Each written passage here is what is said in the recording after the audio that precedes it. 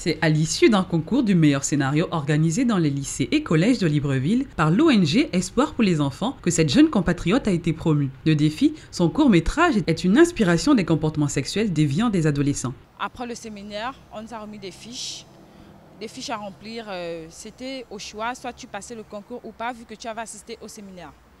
Bon, moi, je me suis dit que c'est important pour moi, vu que j'avais déjà des petites idées sur des grossesses précoces je cherchais un outil pour sensibiliser les jeunes filles. Alors, je me suis lancée à travers ce concours où il y avait 25 établissements euh, en compétition. Sur les 25 établissements, je ne sais pas, bon, peut-être on recruterait combien de scénarios, je ne sais pas. Mais j'étais parmi les candidates retenues. Et je suis allée à la remise des prix. Je suis sortie première, j'étais la première lauréate.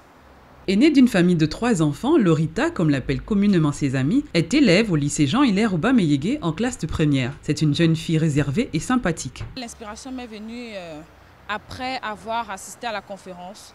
Tellement c'était bien expliqué, c'était explicite et puis il y avait de l'engouement par rapport aux questions débat et je me suis dit pourquoi pas mettre en pratique euh, ce que je connais et puis ce que j'écrivais déjà.